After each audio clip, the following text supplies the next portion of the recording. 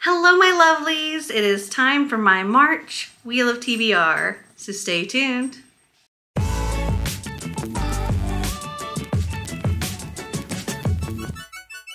So today we are doing my virtual Wheel of TBR yet again. Uh, currently, Xander and I, and Snicker, who's down here, are in Rome. And uh, we are currently in this little hostel, so not a lot of room uh, to maneuver around in, and the lighting's not the best. But we're making do. Uh, our next stop is Florence, Italy, and we're staying in a very nice place there, so I had to kind of balance things out. So, if you don't know, Wheel of TBR is one of my multiple TBR games that I play in order to help pick my TBR for the month. Typically, I play multiple games in a month. However, with all of the travel that I'm doing, I'm only doing this virtual wheel um, for now, and I'll be picking my other stuff up later. Also, I look very red in this lighting. Okay, so here is what my wheel looks like. I am also not doing any rollovers or anything like that. Uh, no punishment spins. The only thing I'm going to do is if I spin the same prompt twice, I will add an extra spin. Uh, I'm going to be doing a five spins. Also, this month is spring, or March is spring into reading-a-thon. So I'm going to try to get my books to fit squares for the, the bingo board. And uh, yeah, so I think after I go through all of my wheel stuff, I'll then tell you what I'm picking for Buzzwordathon, for TBR Knockout, and for Spring into Reading-a-thon. All right, so uh, let's see. As far as last month's spins, um, I was supposed to do random word prospect. And I did a five-star prediction for that. Uh, I selected The Midnight Library by Matt Haig, and I did not get around to reading that. Uh, my pick was Ninth House. Did not get around to reading that.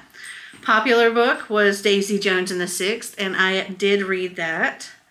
First book in a series, I selected Goose Girl. Have not read that. And color, I had Concrete Gray, and I selected Until the Beginning by Amy Plum. I did not read that. However, I did end up reading Thornhenge or Thornhedge by T. Kingfisher, and that has probably around the same color on it, so it could have counted.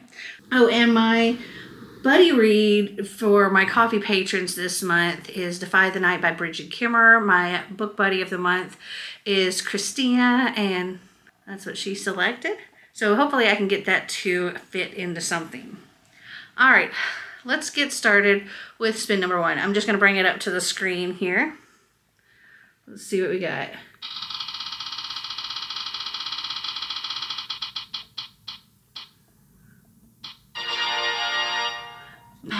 Season-a-thon author. Okay, well that could be handy because I believe one of the squares on the bingo board is rewind, and that's to read a past season-a-thon author. So let me see what I can find on my different um, Kindle, ebook, audiobook, all those things. See what we can come up with. I have to switch phones to my other phone. I currently have two phones. This is my at-home phone, which has my wheel on it. And then this one is um, like a unlocked phone that I got to use while we're in Europe. Okay, so I think for this one, I'm going to go with Bring Me Your Midnight by Rachel Griffin. Um, let's see. There you go. Because I am able to get that on Libby. So let me write that down. Okay, on to spin number two.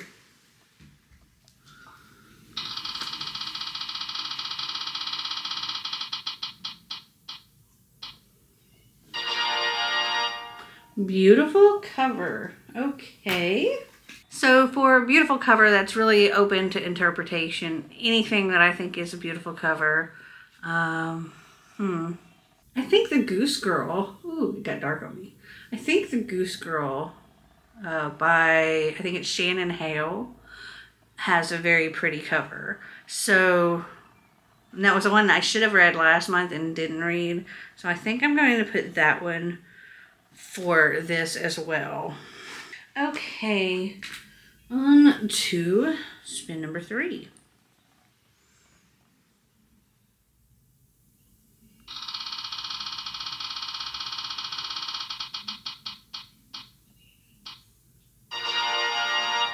A small book.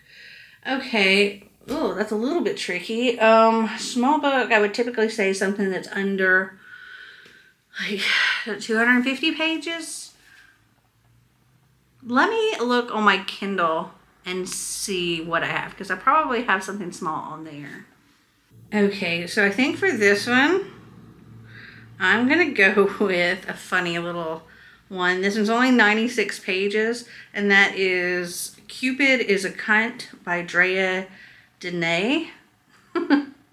it's like a reverse harem type book.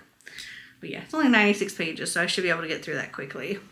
Okay, on to spin number four.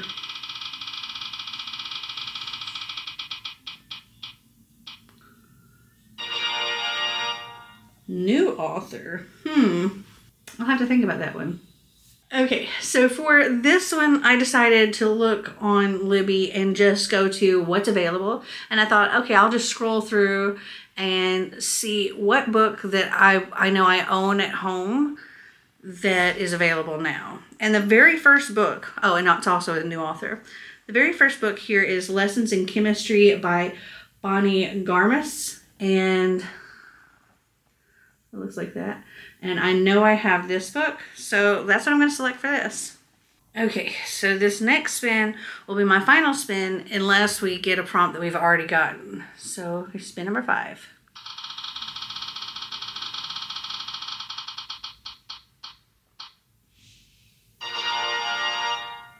Royalty. Okay. That should be pretty easy. I need to check on something though. Be right back. Okay, so I had to check a couple of things, but the book that I decided to go with for this is Defy the Night by Brigid Kemmerer. Uh, I was able to find that on Libby as well, and royalty is involved. And I think that also fulfills one of the squares for spring and a readathon. So let me look, see what I can do for each thing, and then I will come back and let you know what I've selected for Buzzword, TBR Knockout, and Spring in a Reading-a-thon. Okay, I am back and I've gotten it all figured out. Uh, so for TBR Knockout, the theme is New Beginnings. The first prompt is to read a debut novel. For that, I will be reading Lessons in Chemistry. The second prompt is read a book involving starting over, and for that, I'll be reading The Midnight Library. Uh, for buzzword, it's character names as titles. And for that, I'll be reading Eleanor Oliphant is completely fine. Uh, then we have uh, the bingo board.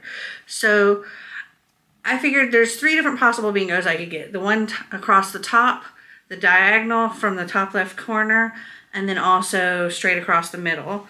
So for spring cleaning, I could do The Goose Girl, which is a book that's been on your shelves for like ever. Uh, New Beginnings, first book in a series. The Goose Girl would work for that, but also Shadow of the Fox. Wet T-shirt contest. Cupid is a cunt. Because uh, reverse harem, all that. Uh, road trip is to listen to an audiobook, and pretty much most of my books are audiobooks. So I just wrote down lessons in chemistry for that. Let It Shine is a cozy read, and I feel like The Goose Girl is going to be that for me. Uh, Spring Fashion, beautiful book. Again, The Goose Girl.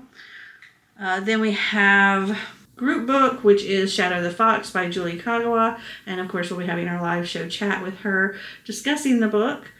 And then Tiny Umbrellas. I think probably my favorite ice beverage is probably iced coffee. So I'll get an iced coffee somewhere. Self care. I totally plan on doing a spa day. Why did it get so dark on me? Uh, then for prom queen, that's to read a popular book. For that, I'll read Ninth House. And then the group books is part of that one as well. Uh, and then spring forward, I was able to find Enna Burning on Hoopla, which is the second book in the Goose Girl series. I think it's something of Bayern or something is actually the name of the series, but and then uh, for Love is in the Air, Lessons in Chemistry. So that is my entire TBR for March. Do you guys plan on reading on any of these? Uh, have you read any of them? Did you like them? Did you not? Are you participating in the Spring Into Reading-a-thon? Comment down below and let me know. Well, I hope you enjoyed this video. If you did, give me a big thumbs up. If you'd like to see more videos like this, click that subscribe button down below. And until next time, remember to always be completely you. Bye!